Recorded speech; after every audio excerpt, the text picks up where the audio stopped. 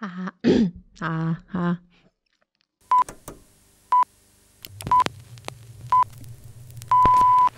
김호연 작가의 소설 불편한 편의점에는 독특한 인물이 등장합니다. 서울역 노숙자에서 편의점 알바생이 된 이 사람은 몸짓도 어리숙하고 말투마저 곰처럼 느릿느릿하죠.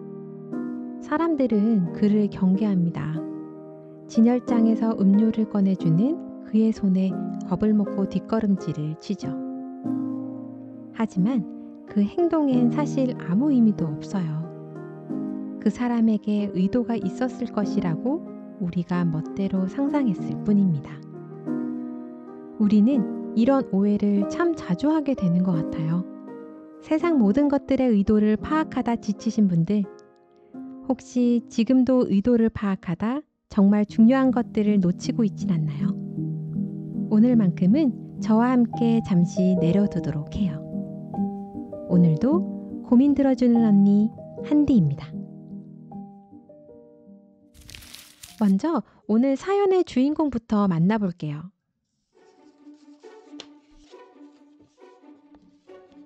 안녕하세요, 한디.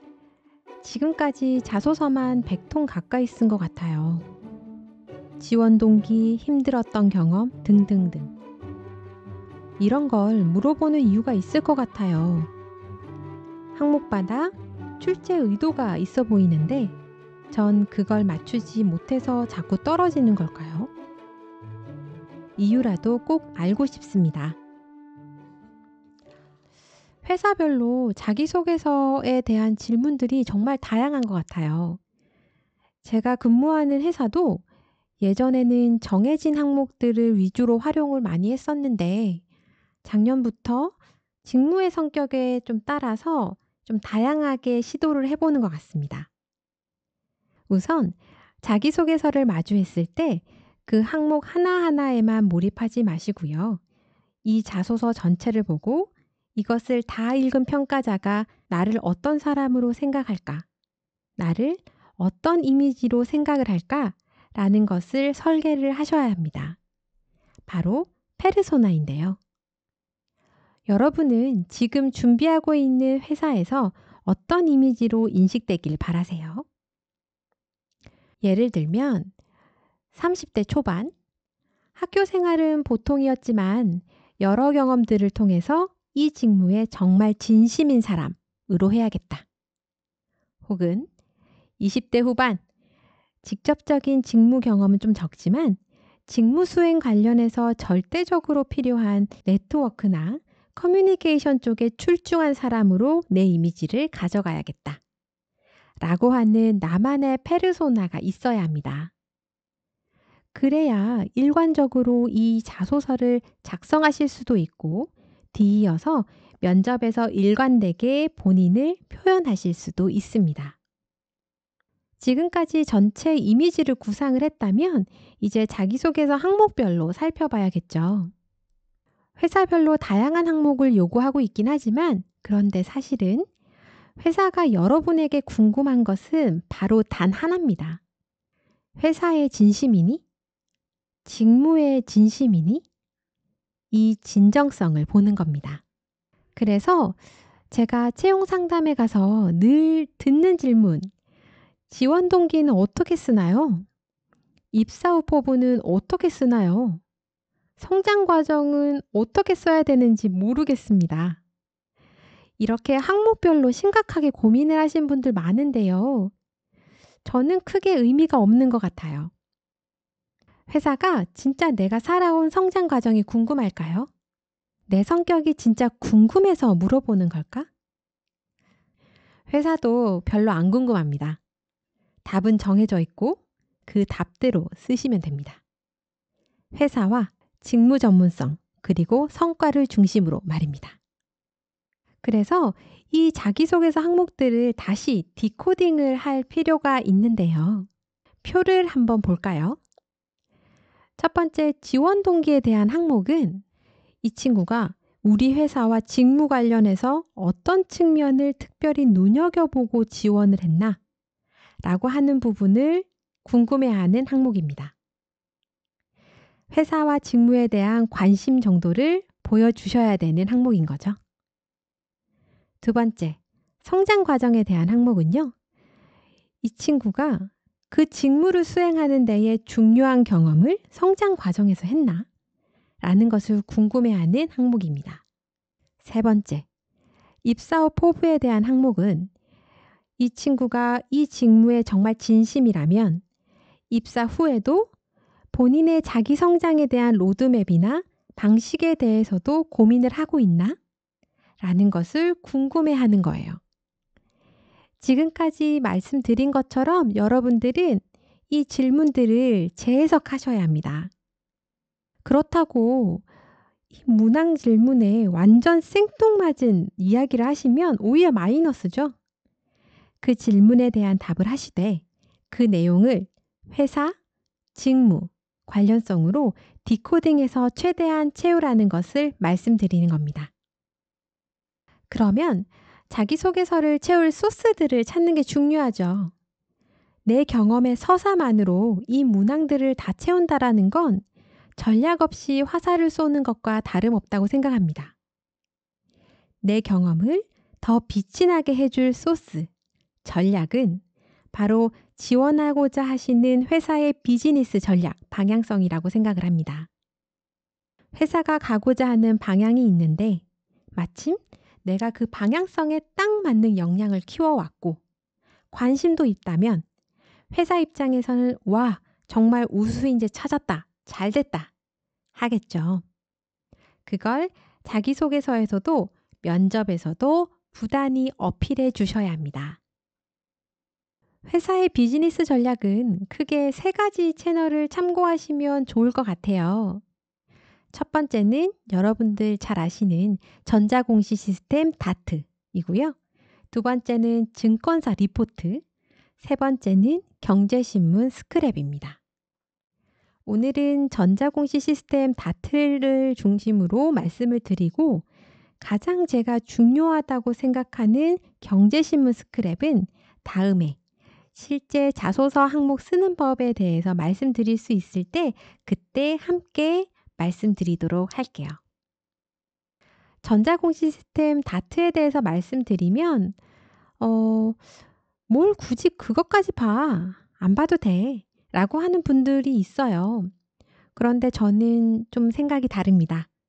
첫 번째, 이건 여러분들이 이 회사에 입사해도 되겠다 하는 선택을 하실 때 건실한 회사인지 아니면 그렇지 않은 회사인지를 확인하는 용도로 쓰실 수 있고요. 두 번째, 그 회사의 전체적인 사업 포트폴리오와 전략 방향성을 아실 수 있기 때문에 여러분의 경험을 어느 방향으로 좀 더 강조할지를 판단하는 데에 도움이 됩니다. 다트에서 봐야 하는 내용들이 굉장히 많을 거라 생각을 하시는데 아니에요. 몇 개 정해져 있습니다. 저랑 같이 홈페이지를 통해서 한번 볼까요?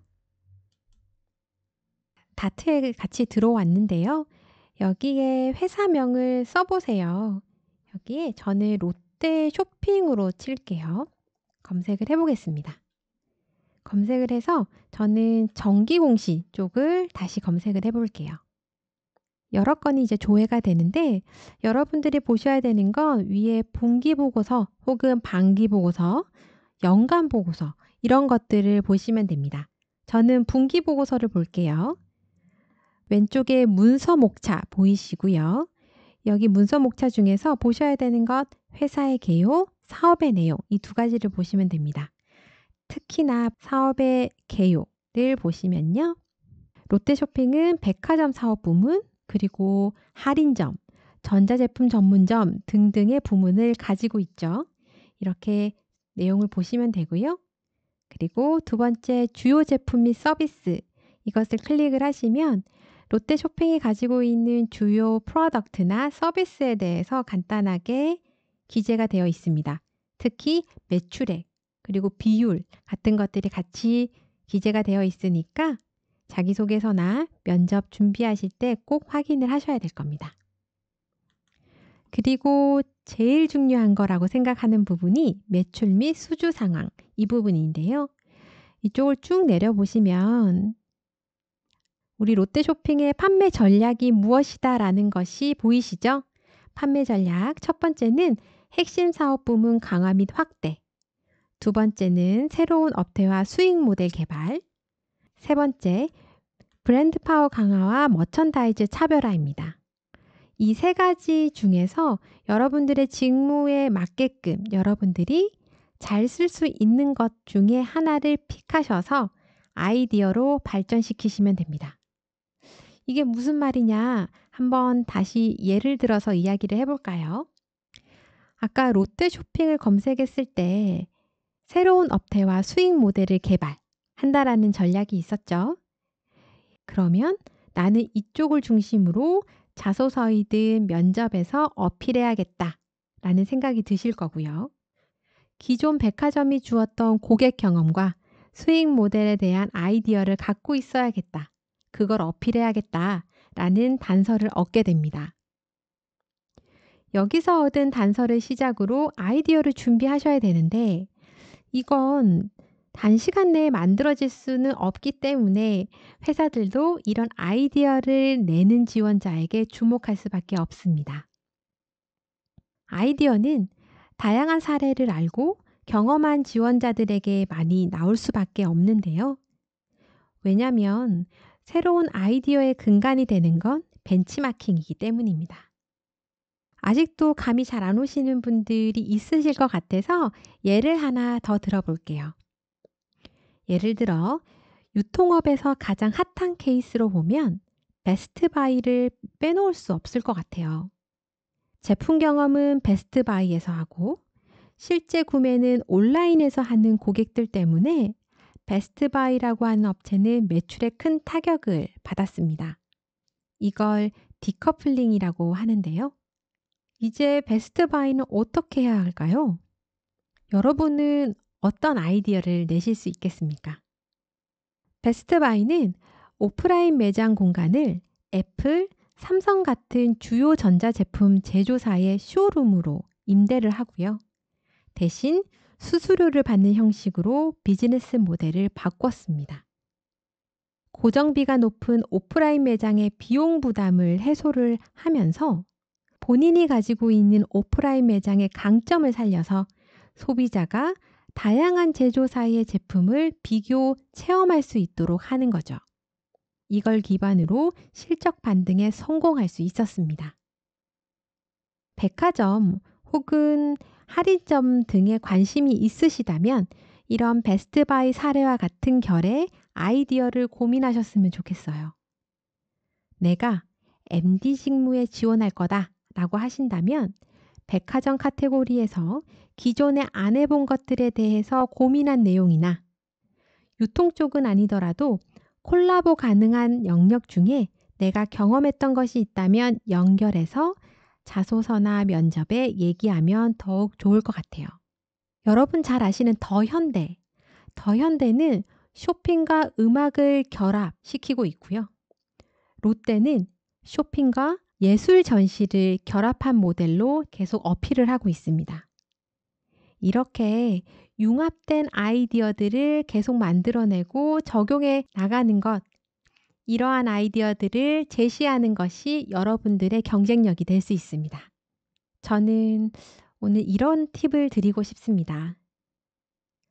자소서에서 중요한 건 딱 하나.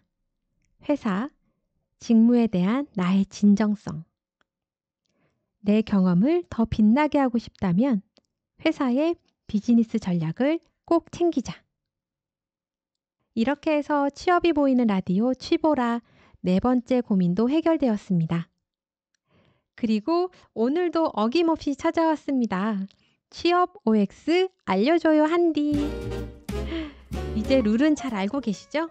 바로 질문부터 가도록 할게요. 첫 번째 질문입니다. 전문 스튜디오에서 돈 들여 찍는 이력서용 사진이 도움이 되나요? 어, 글쎄요. 저는 X, X입니다. 어, 사진의 영향이 크다면 저는 입사를 못했을 것 같은데요. 어, 롯데라면 아예 요구하지도 않고요. 평가에 들어가지도 않습니다. 그냥 일반 사진관에서 찍으셔도 돼요. 전문 기술을 빌려가지고 실물과 매칭이 안 되는 경우가 많습니다. 그럴 때 저희가 얼마나 당황하는지 몰라요. 본인이 봤을 때 호감 가는 얼굴이다, 그런 인상이다 정도 수준만 나오면 괜찮습니다. 그냥 일반 사진관에 가셔도 충분합니다. 두 번째 질문. 면접 때 가운데 앉는 게 유리하다는데 사실인가요? X, X입니다, 여러분. 오, 여러분, 이건 정말 진심으로 전 처음 들어봤어요. 중앙에 앉으면 면접위원의 앵글상 시선을 더 받을 수도 있을 것 같아요. 하지만 여러분, 어차피 그 사람이 얘기하는 것을 듣고 평가하기 때문에 전혀 상관없습니다. 제 경험을 말씀드리면 저도 그때 중앙에 앉았었는데요. 오히려 옆에 있는 지원자의 이야기를 경청하느라 여기저기 고개를 돌리느라고 목이 아팠던 기억이 있고요. 그래서 더 긴장을 했던 기억이 있습니다. 면접 때 위치는 전혀 상관없습니다, 여러분. 어, 나도 취업 때문에 이런 점이 고민인데 라고 생각하는 친구들은 언제든지 댓글에 남겨주시면 이렇게 모아 모아서 답변을 드리도록 하겠습니다. 방송에 대한 감상 그리고 어떠한 피드백도 환영합니다. 다음 시간에도 더 알찬 내용으로 찾아올게요. 고민 들어주는 한디의 취업이 보이는 라디오 취보라. 지금까지 한디였고요. 치보라 친구들, 다음 시간까지 안녕!